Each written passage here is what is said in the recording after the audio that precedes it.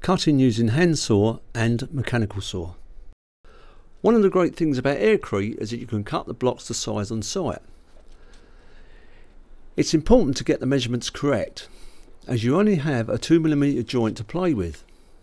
Here I am using my handsaw. As you can see it's quite easy to cut standard grade aircrete blocks with this saw and you will get a clean and accurate cut. Tungsten tipped saws are a good investment and should last two or three years on site. You can see that the aircrete product can be readily scored to mark where a cut is needed. As mentioned before, it's really important to get the measurement right. So set yourself up properly to get good support for the block with enough room for the saw. It doesn't take too long to cut through the block and cutting squares can be used to help with accuracy if desired.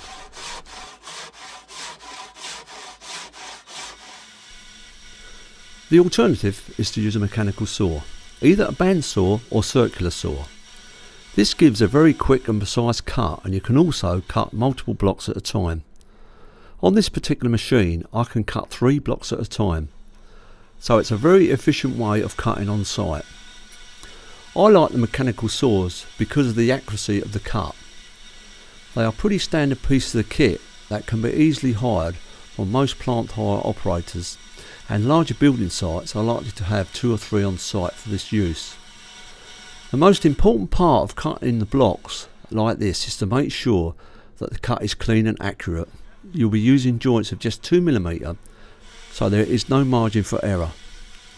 Here you can see that two or three blocks can be cut together. If you want to be really efficient then you can use the labourers on site to do the cutting while the bricklayers just get on with their job.